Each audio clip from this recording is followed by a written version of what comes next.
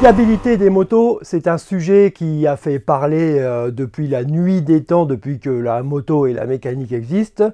C'est quand même euh, la base de la mécanique, mais euh, c'est aussi un sujet que j'adore particulièrement parce qu'en tant que passionné de mécanique autant de motos, c'est un sujet qui m'a toujours intéressé.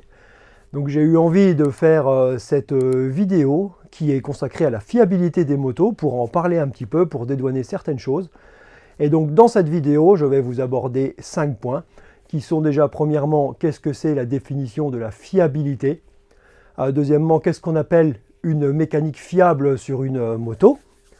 Ensuite, en troisième point, on va euh, parler de quand est-ce que les motos sont devenues fiables finalement au cours du temps. En quatrième point, on va aborder les soucis de fiabilité connus euh, de, des motos ou de certains modèles de motos. Et enfin, en cinquième point, euh, je vais vous parler d'un sujet un petit peu plus concret, c'est comment faire durer sa mécanique, comment améliorer la fiabilité de sa mécanique ou de sa moto. Et dans cette vidéo, euh, vous aurez droit à deux interludes. Une première interlude où je vais vous parler de cinq exemples de fiabilité phénoménale de certaines motos. Ensuite, la deuxième interlude sera consacrée à une petite euh, liste de motos extrêmement fiables et quelques motos absolument pas fiables. Ça existe aussi. Euh, n'oubliez pas euh, de vous abonner si ce n'est pas fait. Et au cours de la vidéo, si vous avez un commentaire, une expérience particulière ou quelque chose euh, à dire, n'hésitez euh, surtout pas. C'est toujours intéressant euh, quand on fait ce genre de vidéo de pouvoir partager à ce sujet. Et comme c'est un sujet que j'aime bien, bah, j'aime bien en discuter. Donc n'hésitez pas si vous avez des exemples, si vous avez un commentaire à mettre, eh ben, de l'écrire et j'essaierai de vous y répondre dans la mesure du possible avec grand plaisir.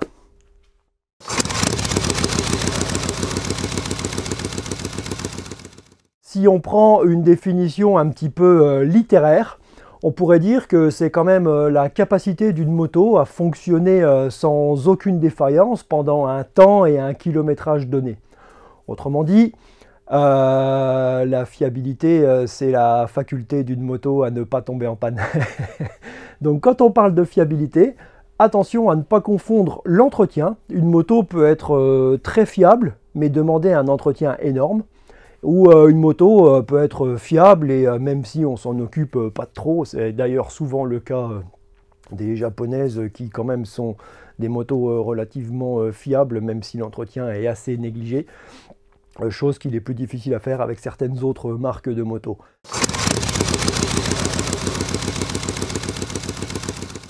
On ramène souvent la fiabilité au moteur, d'une moto parce que effectivement une moto mécaniquement c'est quand même euh, par exemple comparé à une voiture vachement plus simple. Il n'y a pas euh, tous les soucis de train roulant, les rotules, les triangles, tout ce qu'il y a sur une voiture qui est toujours euh, compliqué, qui pose toujours des problèmes. Sur une moto, vous avez la fourche, les suspensions, les biellettes de suspension, la colonne de direction, mais une fois que vous avez fait ça et entretenu ça, voilà, votre moto elle marche, c'est quand même plus simple qu'une voiture. Et finalement, euh, la fiabilité d'une moto est souvent euh, ramenée à la fiabilité euh, du moteur et à la capacité du moteur à vous emmener très loin sans jamais le moindre problème ou en limitant énormément les causes de panne possibles. Donc sur une moto, effectivement, quand on va parler de fiabilité, on va s'atteler énormément au moteur, même si d'autres problèmes de fiabilité peuvent venir d'un point de vue particycle, mais euh, ça serait euh, une casse d'amortisseur, une casse euh, quelconque sur la partie-cycle, etc. Les causes de panne possibles sont quand même plus nombreuses sur le moteur d'une moto. Et dans la vidéo, je vous ferai régulièrement l'analogie, par exemple, avec ma Ténéré 700, qui est une moto assez récente, mais que je trouve absolument fiable, et je vous expliquerai pourquoi. Et euh, les exemples là me serviront euh, avec euh, ma fameuse Ténéré 700 à un petit peu argumenter et j'utiliserai aussi les vidéos que j'ai faites avec les différentes personnes que j'ai pu filmer qui sont des exemples concrets et qui ne sont pas des légendes urbaines pour un petit peu argumenter tout ça. pour être un petit peu plus précis concernant la fiabilité d'un moteur, il faut quand même pas oublier qu'un moteur il a été conçu pour euh, fonctionner dans une certaine plage de température. Donc, évidemment, un moteur, il est conçu pour fonctionner à sa température de fonctionnement normale. Et pour reprendre l'exemple de la Ténéré 700, euh, il est conçu pour fonctionner dans une température euh, de liquide de refroidissement comprise entre 85 et 105 degrés. Et puis l'huile, donc, qui est un petit peu en corrélation avec l'eau qui suit la courbe de température entre 60 et 80 degrés. Et euh, toute la conception de ce moteur est faite pour que le moteur, une fois qu'il est en température, soit contenu dans cette plage de température. C'est pour ça qu'on dit toujours qu'il faut faire attention avec un moteur froid parce qu'il n'est pas dans sa plage de fonctionnement normal et qu'une surchauffe de moteur, c'est dangereux parce qu'il n'est pas non plus dans sa plage de fonctionnement normal. Et donc, euh, c'est aussi ce qui va euh, conditionner la fiabilité euh, d'un moteur, c'est-à-dire que ben, plus vous allez souvent rouler, faire de longues distances, donc rouler plus longtemps avec un moteur qui est dans sa plage de température de fonctionnement normal, euh, le moteur là, il sera évidemment plus euh, économisé ou plus à l'aise qu'un moteur qui ne roule qu'en ville sur de petites distances, qui est toujours en train de chauffer, refroidir et qui roule beaucoup à froid, donc euh, dans une plage de température qui n'est pas la plage de température optimale pour son fonctionnement.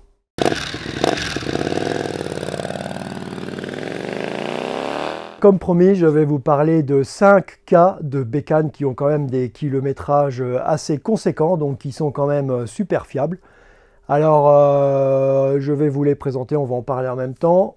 Premier cas, c'est un gars qui a une Goldwing qu'il a acheté euh, neuve dans les années 80, euh, il me semble. Il s'appelle Alzart. Sa moto a 1 million de miles, donc 1 600 000 km. Euh, toutes ces motos, je vous mets les liens vers le site où j'ai trouvé ces infos, la source des infos, ou le lien vers les réseaux sociaux. Je vous les mets dans la description en bas. Donc euh, si ça vous intéresse, allez regarder ça. Donc cette Goldwing a fait 1 600 000 km. Alors avec, elle en est à son quatrième moteur, si j'ai bien compris. Euh, ça nous ramène ça à environ 500 000 km le moteur. C'est quand même déjà pas mal. Et euh, ce propriétaire expliquait que c'était plus simple de faire un échange standard de moteur que de faire euh, restaurer un moteur euh, complètement, c'était beaucoup plus simple. Donc voilà, c'est un exemple où vous pourrez lire un petit peu ses péripéties avec cette Goldwing qu'il a depuis très longtemps, avec laquelle il a fait beaucoup de kilomètres. Le deuxième exemple, c'est un gars que j'adore suivre sur les réseaux sociaux qui s'appelle Jacques Lucassen. Alors c'est un nom un petit peu particulier. Il a une R1, une Yamaha R1 de 98 qui a 350 000 km avec sa sportive. Il a fait plusieurs euh, tours du monde, il est allé en Afrique, euh, il y a des photos de lui au Congo sur la fameuse Nationale 1 euh, où il a de la boue jusqu'au phare, la moto est dans la flotte, enfin un truc de malade quoi. Et c'est un fameux dingue voyageur comme je les adore.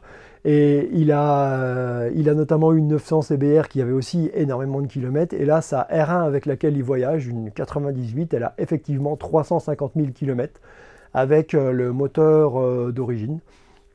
Et puis ben, tout ce qui arrive à sa moto. Donc vous pouvez le suivre aussi sur les réseaux sociaux. C'est quand même intéressant à suivre un petit peu ses péripéties de cinglé.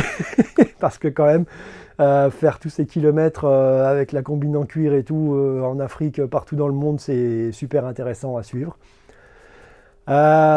troisième cas de moto qui a énormément de kilomètres, alors une qui en a énormément, énormément, c'est chez un concessionnaire de la région parisienne Prestige Moto. D'ailleurs, si jamais ils regardent cette vidéo, j'ai essayé de les contacter sans succès.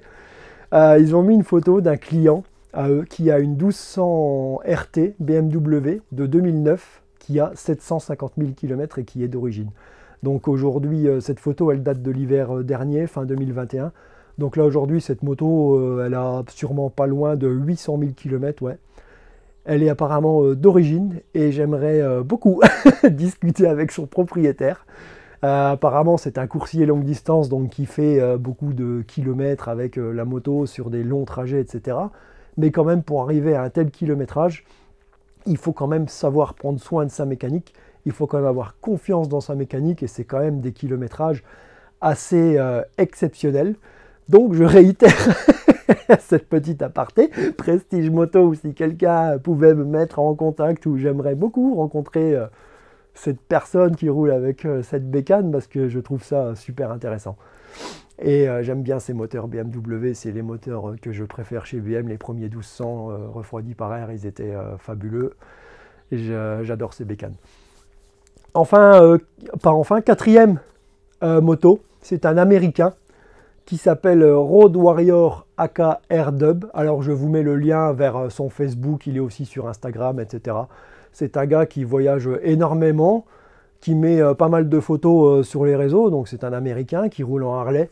Je vous laisserai découvrir euh, le modèle. C'est évidemment une grosse routière. Et elle a eu en ce début 2022 313 000 miles, ce qui correspond à 500 000 km avec une Harley. Et donc voilà, c'est des moteurs super fiables aussi si on en prend soin, comme beaucoup d'autres bécanes.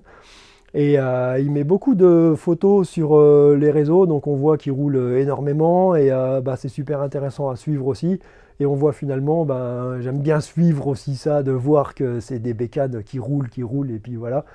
Et enfin, ben, dernier, dernier exemple, c'est mon ami Thierry, avec qui j'ai fait un épisode l'année dernière, au début de la chaîne Bécane et Biel d'Histoire, qui a sa 1150 GS, qui a 300 000 km qui est franchement belle pour son kilométrage et qui veut emmener euh, sans aucun a priori à 400 000 km. Et c'est encore une fois un exemple euh, bah, de possibilité euh, sans franchement trop de soucis et vraiment beaucoup de pannes mécaniques qui permettent d'emmener ces motos à des kilométrages impressionnants. Alors je vous mets le lien ici ou en haut là vers l'épisode où on a parlé de la 1150 GS de Thierry. Comme ça, vous pouvez le regarder euh, si vous voulez. Et euh, voilà, c'est aussi encore un exemple avec une BM euh, bah, de bécane qui a énormément de kilomètres. Donc voilà, vous voyez, ce ne sont pas les seuls exemples que je connais. Il y en a d'autres avec des bécanes qui ont des kilométrages assez incroyables et qui sont d'origine. Mais voilà, c'est pour dire tout ça que ça existe, qu'il y a certains motards eh ben, qui gardent leur moto longtemps, qui en prennent soin, qui roulent énormément et que la fiabilité, c'est tout à fait possible.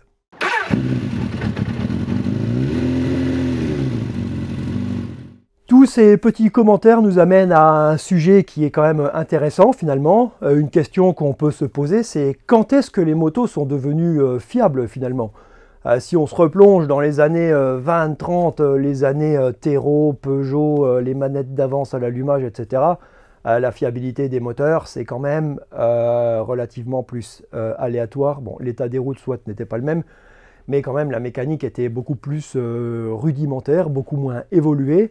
Et euh, évidemment, euh, quand on roule avec une ancienne 125 comme ça, euh, c'est pas rare de faire pas plus de 10 bornes sans tomber en panne. Donc on ne peut pas vraiment parler de fiabilité. Mais aujourd'hui, c'est plus du tout le cas. Donc finalement, quand est-ce que c'est arrivé tout ça?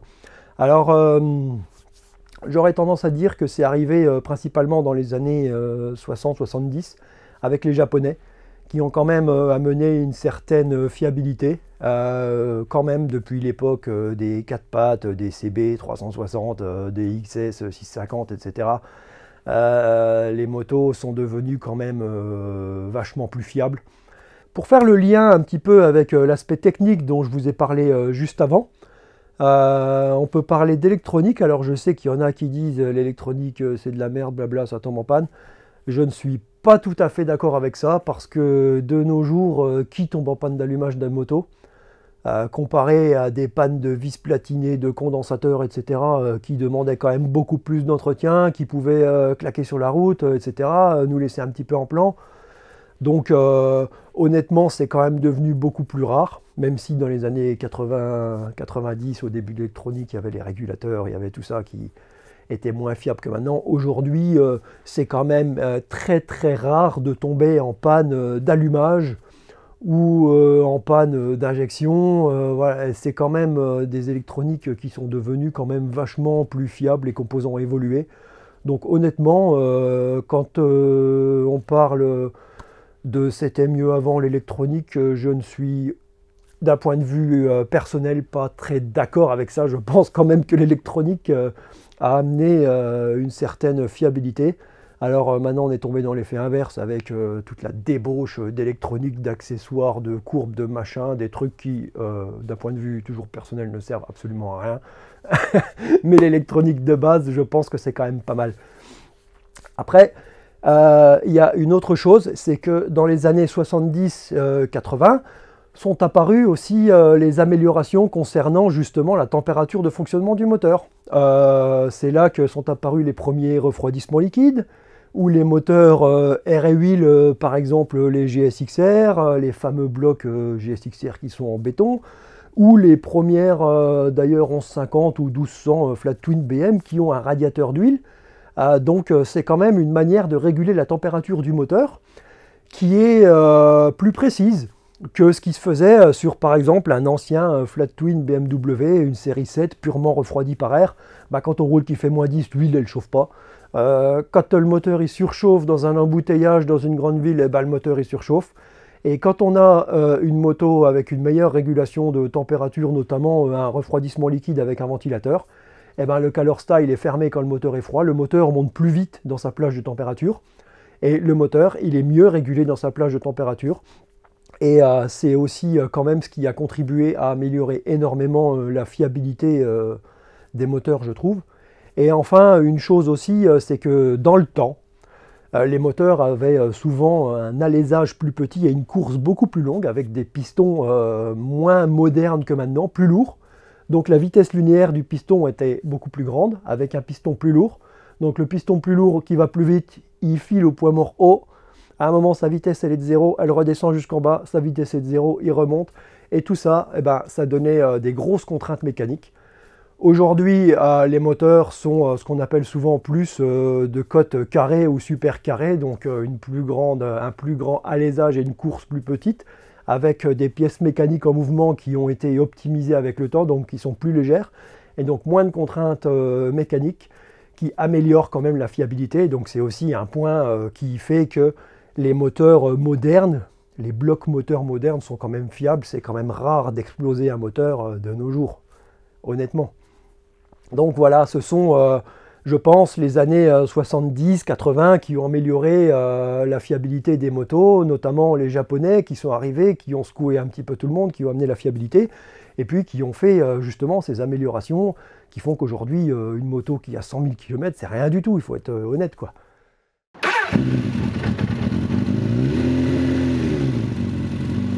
On en a parlé tout à l'heure sur les motos anciennes, bah, notamment les allumages à rupteur. Alors même si un rupteur bien réglé, etc., c'est fiable, entre guillemets, ça demande quand même un entretien. Souvent maintenant, les refabrications, les condensateurs, alors euh, vous prenez par exemple les mobilettes, euh, les condensateurs sont fabriqués en Chine, vous en achetez 10 pour en avoir d'autres bons, quoi. donc il y a d'autres solutions qui existent maintenant avec de l'électronique moderne, et oui. Ou un allumage électronique qu'on peut monter sur une mob, par exemple, qui est quand même vachement plus fiable avec une meilleure étincelle. Et oui, c'est ce qu'il y a sur ma bleue. et honnêtement, la différence est énorme. Donc voilà, c'est un exemple. Après, donc, euh, comme j'en ai parlé, dans les années 80, 90, euh, l'électronique était moins au point que maintenant et on en a déjà parlé euh, notamment euh, sur la chaîne, des problèmes de régulateurs qu'il y avait aussi souvent sur les Honda des années 90. tous les modèles étaient touchés. Par exemple sur la CB500, le régulateur est caché dans le cache latéral droit. C'est pas l'endroit idéal pour qu'il soit bien refroidi. juste pour rappel, le régulateur redresseur, il encaisse le environ 60 volts triphasé qui sort de l'alternateur. Il va redresser cette tension et la réguler pour fournir du 12 volts continu bah, pour alimenter la moto et recharger la batterie. Et donc lui, eh ben, il encaisse tout ça, il encaisse cette puissance-là et, euh, eh ben, forcément il chauffe. Et donc euh, bah, voilà, il en prend plein la tronche. Et euh, si c'est de l'électronique moins fiable ou qui était moins fiable à l'époque, ben, les régulateurs, voilà, c'est un truc qui dégageait sur les motos, c'était pas rare du tout. Euh, à une époque, certains, des fois, les déplaçaient sur l'avant de la moto pour mieux les refroidir. Euh, ce qu'on trouve maintenant, alors euh, il existe du chinois pas cher, mais il existe aussi des fabrications de régulateurs qui sont quand même relativement fiables et qui coûtent pas si cher que ça. Donc voilà, ça c'est un exemple de ce que vous trouverez sur une ancienne, une Youngtimer, une source de panne possible, et eh ben, qui met forcément une claque à la fiabilité. Et puis, euh, il y a eu aussi euh, certains moteurs qui ont eu des maladies chroniques. Alors, je ne vais pas euh, citer de marque, j'en ai pas spécialement en tête comme ça, mais il y a quand même eu, au fil du temps, des modèles qui ont eu des soucis de fiabilité sur les premiers modèles de moto, qui ont été ensuite améliorés, ou certaines bécanes plus dans les années 70, des marques européennes qui étaient quand même moins fiables. je vous prends voilà l'exemple, j'ose le dire. Vous prenez une Triumph des années 70, c'est un moteur qui est super, c'est vachement génial à, rouler et tout. Le caractère moteur, la moto, elle est super. Mais la fiabilité, c'est loin d'être une japonaise. ça vibre à mort, il faut être quand même vachement alerte avec ce genre de bécane. Et honnêtement, euh, est-ce que vous connaissez quelqu'un qui a fait 100 euh, 000 bornes avec une Triumph Bonneville de 72 sans jamais rien faire dessus? J'ai de sérieux doutes. Ce n'est pas le seul exemple, c'est un exemple comme ça, c'est des super motos mais qui demandent un entretien très poussé qui fait que la fiabilité, elle est quand même un ton en dessous d'une japonaise euh, de ces mêmes années, même si elle est plus sympa à conduire, mais il faut quand même le reconnaître. Et enfin, si on va du côté des motos modernes, euh, ce qui entame la fiabilité des motos. Alors à mon sens, moi je suis un adepte de simplicité égale fiabilité. Et aujourd'hui, il y a quand même beaucoup de bécanes avec euh, les écrans TFT, les keyless, les machins sans clé, euh, les suspensions pilotées électroniques, tout ça. Alors c'est des accessoires de confort, des gadgets qui sont honnêtement pas indispensables. Quand on roule en ancienne, qu'on les a pas, ils nous manquent pas. Euh, et euh, bah, tout ça, c'est des sources de panne. Je vous reprends donc l'exemple de ma Ténéré 700, qui est une moto euh, que je trouve absolument très fiable, je le répète. Seule petite panne entre guillemets que j'ai eu, le capteur d'indicateur de, rapport engagé, qui a un tout petit truc qui est sur le moteur, qui tient avec deux vis, voilà. Le rapport engagé, ça sert à rien du tout. Vous avez un voyant de point mort, vous roulez, vous roulez sur la vitesse ou le rapport idéal. Quand il n'y en a plus à monter, c'est que vous êtes en sixième. L'indicateur de rapport engagé, en soi, ça sert à rien, quoi. C'est un confort, mais ça sert à rien. Et bien le truc là, il est tombé en panne. S'il n'existait pas comme il n'y avait pas euh, sur ma BM R100R ou comme il n'y a pas sur une moto d'enduro, comme il n'y a pas sur euh, d'autres bécanes, euh, quand on l'a pas, il ne manque pas quoi. C'est pas ça qui empêche de rouler. Donc là, c'était pas une panne immobilisante, mais n'empêche que ce genre de gadget a créé une panne quoi. Même si j'ai pas été immobilisé, même si ça m'a pas empêché de rouler, voilà, c'est un gadget qui est tombé en panne. Et et bien tous ces petits trucs-là euh, qu'on rajoute, qui sont des accessoires de confort, bah, c'est aussi des sources de panne. Quoi. Donc euh, honnêtement, je suis franchement convaincu de l'équation simplicité égale fiabilité. Et je pense que si vous voulez une moto fiable, et ben, tout ce qui sert à rien, tout ce qui est inutile et tout ce qui n'est pas d'origine, c'est des sources de panne possibles en plus. Donc ben voilà, il faut y penser quoi.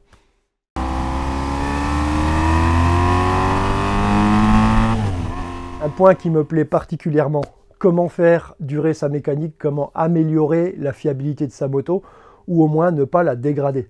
Alors euh, chacun aura peut-être sa petite sauce, vous pouvez la mettre en commentaire euh, si vous avez un conseil ou quoi à donner. En attendant, il y a quand même euh, trois points, je dirais, essentiels. Déjà de une, ménager sa mécanique, forcément. On voit souvent, alors euh, je reviens encore sur mon fameux moteur euh, CP2, on voit souvent des jeunes motards en MT-07, euh, en, ER6, en, les jeunes Eurosters, qui passent leur temps au feu rouge, à papa, les rupteurs et tout. forcément, soit il y a une zone rouge, il y a un rupteur qui est au début de la zone rouge pour pas être justement dans la zone rouge. En attendant, quand on fait ça, on met quand même le moteur sous contrainte, on le fait bien chauffer, tout ça. c'est forcément on va plus user la mécanique que quelqu'un qui va en prendre euh, soin et qui va euh, la faire chauffer tranquillement, qui va pas la mettre en charge inutilement, qui va pas tirer les rapports comme un malade pour quand même rouler à 80. Donc tout ça, mis bout à bout, alors euh, c'est pas sur 10, 20 ou 30 000 km que la différence elle est faite, c'est sur une moto qui a 100 000 km. si vous voulez passer voir une bécane qui a 100 000, 150 000, 200 000 km, une bécane qui a 200 000 km, et à un moment il faut en prendre soin. Et donc, euh, bah, pour qu'elle y arrive, eh ben, il faut ménager sa mécanique. Ça, c'est une règle de base qui est immuable. Et euh, bah, voilà, si vous voulez une moto qui va loin, il faut euh, en prendre soin. Les rupteurs, les tirer dessus à froid et tout ça, ceux qui ont 200, 300, 400 000 km avec leur moto, ils font pas ça. Maintenant, pour faire durer sa mécanique, effectivement, il y a un truc aussi qui est très très important, et eh ben, c'est d'en prendre soin et de ne pas négliger l'entretien. L'entretien, il est fait pour être fait en temps et en heure. Il faut jamais négliger euh, ni les vidanges, euh, ni les purges des freins, ni les entretiens, les vidanges de fourche, les graissages. Il faut toujours être alerte un petit peu avec sa moto, rouler en écoutant un petit peu les bruits, la moindre anomalie. quand vous avez l'habitude de votre moto, vous roulez, le jour où vous entendez un petit clic-clic inhabituel, un petit truc qui vibre, c'est pas une idée de la tête, c'est qu'il y a vraiment un truc qui vibre. Et dans ces cas-là, il faut trouver ce que c'est. Et euh, donc on a dit que les moteurs étaient faits pour fonctionner dans une plage de, température précise, mais aussi avec un type d'huile et euh, selon une périodicité. Donc si la vidange c'est à faire tous les 10 000 bornes et que vous la faites tous les 15 ou 20 000, vous allez rouler avec une huile qui est chargée euh, d'impuretés. Donc ça sert à rien. Donc il ne faut pas faire non plus du surentretien pour rien mais quand même euh, l'entretien qui doit être fait, il doit être fait. Et euh, je fais une analogie euh, notamment avec l'enduro ou le cross ou les motos, bon, on a plus tendance à chuter avec. si vous prenez une bécane qui est d'origine, qui est magnifique, une paire de chutes, vous avez cassé un levier, un plastique, etc.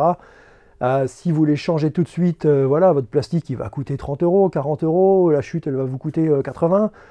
Mais si vous le refaites, vous avez une moto qui est toujours nickel, qui est toujours propre, dont vous avez envie de prendre soin. Si vous commencez à réparer ça avec des rilsans, avec un bout de scotch, à mettre ça de côté, machin, le truc qui pend, vous finissez avec une épave, avec un oignon euh, que vous n'avez plus envie de prendre soin, qui va vous coûter 500 euh, euros à remettre en état parce que tout ce que vous n'avez pas fait avant, à un moment, il faut le faire. Et du coup, vous vous retrouvez avec une moto que vous regardez en soupirant. Et puis, euh, bah, c'est une moto qui durera jamais 10 ans. Alors que si vous en prenez soin, vous investissez dedans régulièrement pour la soigner, euh, ça va énormément aussi contribuer euh, à avoir une moto euh, qui vieillit bien et donc qui est, fiable. Et l'entretien, c'est quand même une part énorme dans la fiabilité d'une moto, ça c'est sûr et certain. Et enfin, troisième point, c'est quand vous changez du matériel sur votre moto, mettez du matériel de qualité. Alors je vous prends l'exemple, je chute à l'arrêt avec la Ténéré 700, je tords un levier, un levier d'origine, euh, ça coûte 70 euh, balles. Un levier adaptable, le même, moulé, à pas cher, euh, ça va coûter 20 balles une wicherie. Mais qu'est-ce qui va se passer? Le levier, il va choper du jeu en très peu de temps. Au bout de 2, 3, 4, 5 mois, euh, la moto, les leviers, gling, gling, gling, euh, ça balance dans tous les sens et tout. Et puis après, on se dit, putain, c'est de la merde. voilà. Ah, désolé, mais c'est comme ça. Hein. Et euh, franchement, eh ben, après, on regrette. Et si on commence comme ça, on finit avec une moto qui est brinque-ballante de partout, qui est plus belle, tout ça. Et franchement, les leviers d'origine, le matériel d'origine, c'est quand même une qualité qui est un cran au-dessus de tous ces trucs adaptables. Et donc il vaut mieux investir tout de suite dans un truc propre, mettre une moto nickel.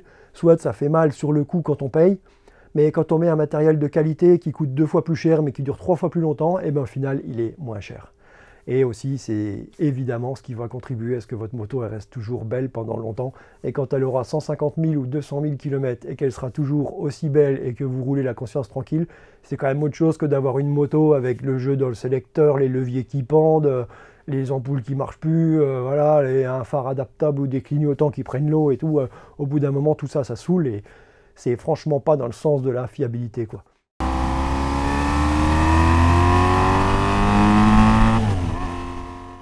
Deuxième petite interlude, comme je vous avais promis, je vais oser vous citer des modèles de motos qui sont euh, réputés hyper fiables. Je pense que euh, tout le monde sera euh, d'accord avec moi, même si on peut toujours trouver l'exemple d'un gars qui a pété un moteur sur une moto qui est réputée super fiable. En attendant,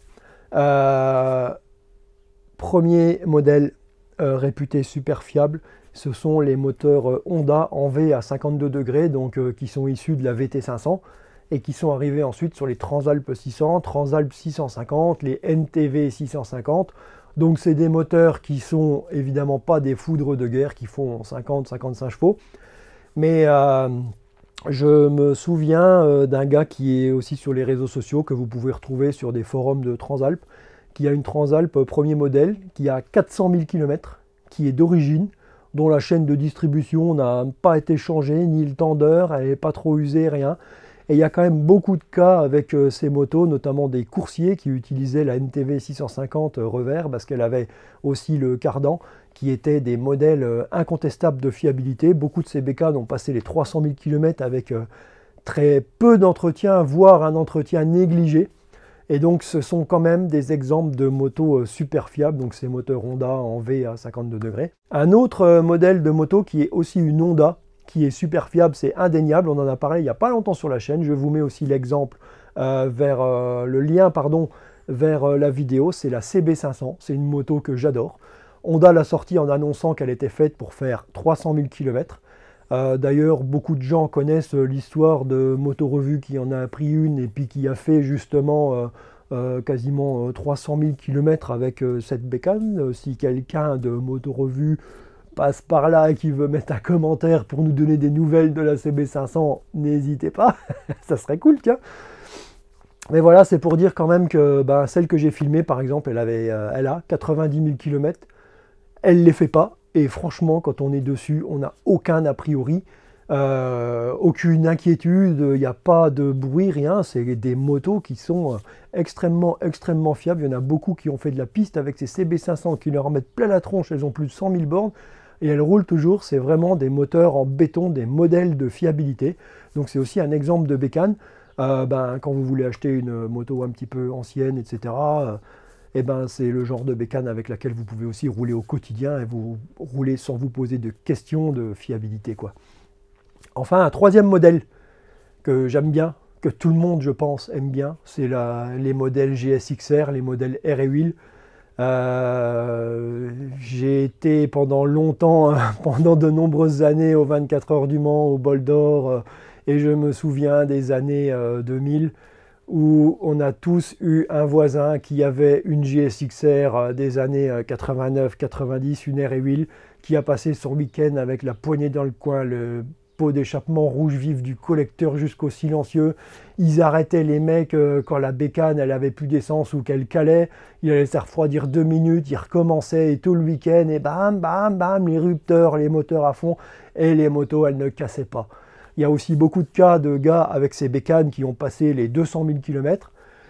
Et euh, pour se remettre quand même dans le contexte, euh, trouvez-moi un gars qui a eu une 1100 GSXR dans les années euh, fin 80, début 90, et qui a respecté les limitations de vitesse. je voudrais bien le rencontrer.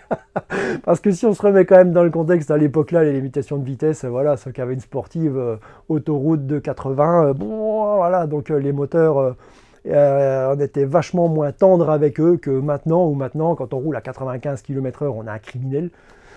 Et euh, donc euh, c'était aussi un autre contexte et euh, ce sont quand même des bécanes extrêmement fiables ces GSXR et c'est pas pour rien qu'aujourd'hui elles sont énormément cotées parce que la partie cycle était moins rigide mais par contre niveau moteur c'était quand même de la balle quoi. Et enfin je voulais vous donner quand même aussi deux exemples de motos modernes que je trouve super fiables. Alors oui c'est ma moto, c'est ça, mais quand même la Ténéré 700 est par extension, euh, les moteurs CP2, donc le fameux 700 bicylindre de chez Yamaha, voilà, sorti en 2014 de mémoire euh, pour la MT-07, c'est quand même un moteur qui est déjà réputé euh, hyper fiable. Il y a eu très très peu de cas de casse moteur. Il y en a plein, des, notamment des jeunes en MT-07 qui leur en mettent plein la tronche, qui font des wheelings. Et honnêtement, c'est des moteurs quand même qui sont vraiment fiables. Je suis persuadé que ma Ténéré pourra atteindre les 200 000, voire plus, euh, sans problème. Et que si on en prend un, minimum soin, ce sont des moteurs qui peuvent aller euh, très très loin. Et euh, finalement, les 75 chevaux, eh ben, ils sont bien adaptés dans les conditions de circulation d'aujourd'hui. Donc franchement, je trouve que c'est une super bécane. Bon, c'est pas pour rien que je l'ai acheté non plus. Si je pensais pas ça, je l'aurais pas acheté. Mais voilà, je pense sincèrement que c'est un moteur euh, très très fiable et que ce sont des bécanes avec lesquelles on peut rouler euh, très loin sans se poser de questions. Et un autre euh, moteur, un autre type de bécane aussi que je trouve fiable dans les modernes, c'est les moteurs Honda 1100, donc celui de l'Africa Twin et de maintenant la NT 1100, donc la routière. Donc c'est la tendance actuelle d'avoir un moteur et de faire plusieurs motos avec, ça optimise les coûts, soit. En attendant, je trouve que c'est un moteur qui est bien né, euh, c'est pas le plus caractériel, c'est pas le plus exceptionnel. Euh, comparé, euh, j'ai pu le comparer à mon ex KTM que j'avais avant. Le moteur était beaucoup plus caractériel, beaucoup plus sympa à rouler. Par contre, niveau fiabilité, le moteur Honda, je pense qu'il est franchement pas mal. Donc, c'était pour dire aussi que dans les motos modernes, il y a des exemples de motos très fiables et qu'on peut aujourd'hui acheter une moto récente en se disant qu'on va la garder très longtemps à chaque fois qu'une moto sort, on se dit ouais, l'ancienne était mieux, machin. Il y a eu le cas avec euh, toutes les BM quand la 1100 est sortie, la 1150, la 1200. À chaque fois, l'ancienne, elle était mieux. Et finalement, quelques années plus tard, on se rend compte qu'on peut faire plein de kilomètres avec la nouvelle aussi. Donc je pense qu'il faut arrêter de toujours dire que la, nouvelle est moins bien que l'ancienne, etc. Euh, je pense sincèrement que si on prend soin d'une moto, elle peut être fiable même si c'est une moto euh, récente. Et je vais quand même oser un truc très dangereux, c'est de donner euh, deux exemples de motos absolument pas fiables. Alors j'en ai parlé un petit peu tout à l'heure, c'est pas trop un exemple de non-fiabilité, mais si vous prenez les anglaises des années 70, effectivement, elles demandent un entretien conséquent et je pense que c'est compliqué de se dire j'ai une anglaise, même si elle est refaite à neuf, si elle est fiabilisée, de se dire je vais faire 100 000 km avec sans rien faire dessus. Quoi. Donc euh, c'est des moteurs absolument euh, fabuleux, qui vibrent, qui sont vivants, qui sont... Euh, voilà, il n'y a pas d'équivalent quoi. Mais par contre, niveau fiabilité, ça reste une anglaise des années 70. Et quand on achète ce genre de bécane, eh ben, il faut la voir aussi en conséquence avec ça, ses qualités et ses défauts. Et je pense qu'il ne faut pas acheter ce genre de bécane pour rouler comme avec une japonaise en disant je fous la clé dedans, je roule et je m'occupe de rien. Et enfin, un deuxième exemple, je pense que tout le monde sera d'accord avec moi, euh, notamment les motos euh, soviétiques, comme par exemple le Dniepr, euh, le fameux sidecar russe. Pourquoi je vous dis ça? Parce que quand je suis allé au Cap Nord et en Russie en 2018, donc j'ai rencontré un Allemand qui était en sidecar, avec qui on a énormément sympathisé, c'est devenu un ami. J'en parle d'ailleurs bah, dans mon livre La Russie au détour d'un road trip. C'est ce gars-là que j'ai rencontré. Ce gars-là, il est parti de chez lui en Allemagne d'abord. Et il a voulu faire ce voyage avec son sidecar euh, russe, un Dniepr, un authentique. Il a eu toutes les pannes du monde. Même ce qui n'est pas possible à tomber en panne, c'est tomber en panne. Les garnitures de frein qui se décollent, les machins qui se dessoudent, les roues qui se dessoudent, euh, les pannes moteurs. Il a dormi dans la forêt en Finlande en attendant des pièces, de se faire ressouder des trucs, enfin des machins, mais... Euh, moi, honnêtement, j'aurais foutu le feu à cette chignole depuis longtemps parce que ça m'aurait saoulé de faire un voyage comme ça et de passer ma vie en panne. Jusqu'à ce qu'à 500 km du Cap Nord, le moteur décède, bim, les roulements du vélo, enfin, le moteur était mort. Donc, il a fait euh, venir sa famille avec son sidecar moderne, un BMW, une euh, Custom 1200. Euh, qui lui a amené le side BMW, qui a ramené son machin russe. Et donc il a fini son voyage comme ça, et moi je l'ai rencontré en Russie quand il était avec son sidecar BMW. Donc du coup, euh, je connais ce sidecar euh, russe parce que je me suis déjà mis assis dessus, même si je ne l'ai pas vu sur la route. Et honnêtement, j'aime bien la mécanique, j'aime bien faire la mécanique à la maison, prendre soin de ma moto à la maison. Par contre, quand on est en voyage, la mécanique sur le bord de la route d'un truc qui est toujours en panne, ça me saoule être à genoux dans la terre, les vis posées par terre, euh, enfin tout dans la merde et tout, euh, je m'en passe très bien et c'est pas du tout le truc qui me fait triper. Et euh, franchement, un sidecar russe comme ça, un truc absolument pas fiable, moi j'aurais déjà foutu le feu sur le bord de la route à ce machin-là, voilà, donc il y a aussi d'autres exemples dans les années 60, 70 de bécanes qui n'avaient pas une fiabilité exemplaire, qui avaient des maladies chroniques, etc. Ça, vous retrouverez évidemment sur Internet plein de choses. Mais voilà, c'est pour dire que autant il existe des motos super fiables comme les Honda euh, des années 90, autant Honda a eu aussi euh, son lot de points noirs et de pains noirs avec euh, notamment les VFF, les 750, les 1000 qui mangeaient les arbres à cam aussi vite que les pleins d'essence. Donc voilà, il y a quand même, tout le monde a eu sa dose de non-fiabilité et de fiabilité. Quoi. Donc personne n'est parfait mais euh, c'était justement pour vous donner un petit peu ces exemples de fiabilité et aussi de non-fiabilité.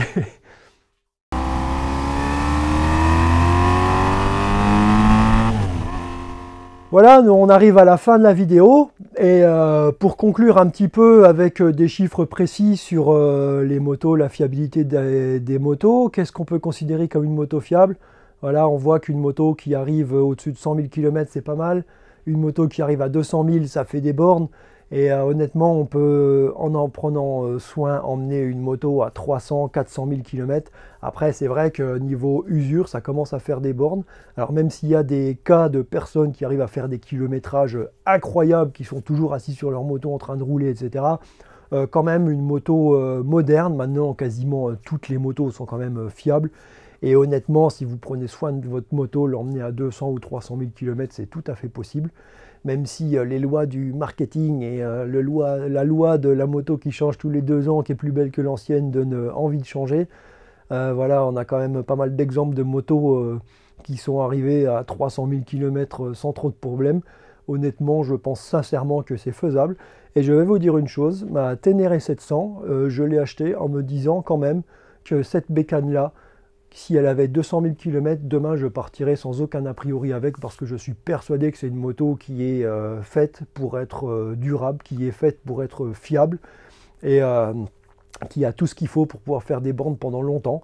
Alors je ne sais pas ce que l'avenir nous dira, mais en tout cas, personnellement, ma Ténéré, euh, je compte l'emmener euh, longtemps et je compte la garder longtemps parce que c'est une moto que j'adore. Et j'espère que vous aussi, vous pourrez faire euh, plein de kilomètres avec vos bécanes, que vous avez des motos que vous pouvez garder longtemps. D'ailleurs, je vous rappelle que je suis en Lorraine. Et si vous avez une bécane qui a beaucoup de kilomètres, etc., que ça vous intéresse de faire un petit reportage et que vous passez dans le coin, n'hésitez pas à me contacter parce que vu que j'adore ce genre de bécane, euh, je ferai un petit reportage avec grand plaisir euh, sur ce genre de bécane si vous passez dans le coin ou si vous me dites d'où vous êtes, peut-être euh, si je passe dans le coin, ce serait avec plaisir. Donc n'hésitez pas aussi à mettre soit un commentaire ou m'envoyer un petit mail à bécaneetbiellehistoires.gmail.com pour éventuellement en discuter. Et sur ce, je vous dis bonne route, t'occupe, roule, ça c'est la règle de base. D'abord on roule, on se pose des questions après, et je vous dis à bientôt sur la route, ciao